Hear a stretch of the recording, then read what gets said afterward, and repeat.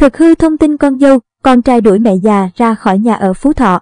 Những ngày gần đây, mạng xã hội đang dậy sóng trước thông tin một cụ bà ở Phú Thọ bị con trai và con dâu đuổi ra khỏi nhà.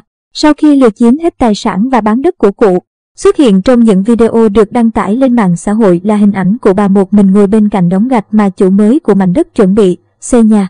Cùng di ảnh của người chồng quá cố khiến nhiều người không khỏi xót xa. Theo nội dung video được chia sẻ, đông đảo người dân đã kéo đến với mong muốn đòi lại công lý cho bà cụ, đòi anh con trai và người con dâu phải ra mặt.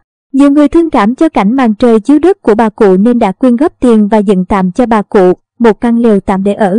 Liên quan đến nội dung nêu trên, trao đổi với phóng viên báo Sức khỏe và đời sống, ông Ngô Hồng Quân, Chủ tịch Ủy ban Nhân dân xã Đỗ Xuyên, huyện Thanh Ba, tỉnh Phú Thọ xác nhận sự việc nêu trên xảy ra trên địa bàn xã cách đây vài hôm.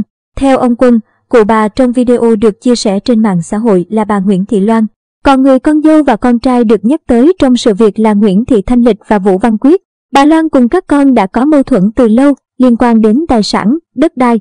Tuy nhiên nội tình như thế nào thì ông Quân cho rằng còn phải tìm hiểu nhiều yếu tố. Cũng theo Chủ tịch Ủy ban Nhân dân xã Đỗ Xuyên ngày 10 tháng 9 năm 2023, Ủy ban Nhân dân xã Đỗ Xuyên có nhận được đơn đề nghị của vợ chồng anh chị Quyết, Lịch và cháu nội của bà Loan với nội dung mong chính quyền địa phương giúp đỡ cho gia đình.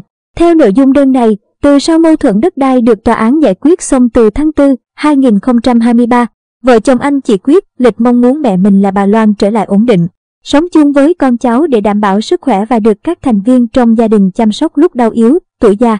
Nhưng vì tác động tâm lý và có sự gièm pha của một số người mà bà Loan vẫn về nhà nhân ăn, ngủ nay đây mai đó. Mặc dù không ai ngăn cản hoặc cấm bà về chung sống, gia đình mong bà tĩnh tâm, về sống với con cháu nhưng không có kết quả nên làm đơn đề nghị chính quyền giúp đỡ, vận động, động viên bà Loan ổn định sống cùng con, cháu để được chăm sóc tuổi già. Ông Quân cũng cho biết, sau khi tiếp nhận đơn đề nghị, Ủy ban Nhân dân xã Đỗ Xuyên đã đứng ra tổ chức buổi gặp mặt để vận động bà Loan về sống cùng các con cháu. Nhưng bà Loan không đến nên buổi gặp mặt không thành công. Còn về sự việc xảy ra mới đây, ông Quân cho hay, sau khi nắm được thông tin chính quyền xã cùng công an đã có mặt ở nhà anh chị Quyết, Lịch để xác minh vụ việc. Theo vợ chồng anh chị Quyết, Lịch, gia đình vẫn đưa chìa khóa nhà cho bà Loan để bà có quyền tự ý ra vào nhà, nhưng bà Loan lại nhất quyết ra ngoài ở.